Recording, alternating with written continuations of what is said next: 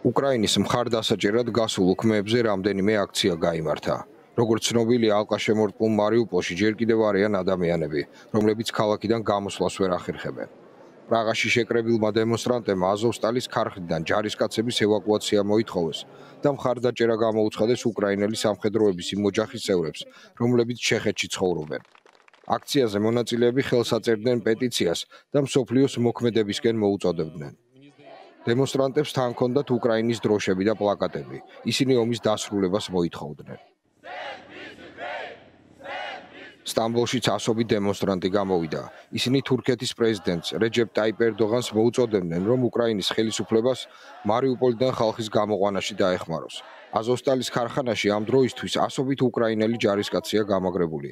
ისინი უკვე 80 დღეა რუსულ ძალებს არ აძლევენ საპორტო ქალაქ მარიუპოლის სრულად გაკონტროლების საშუალებას.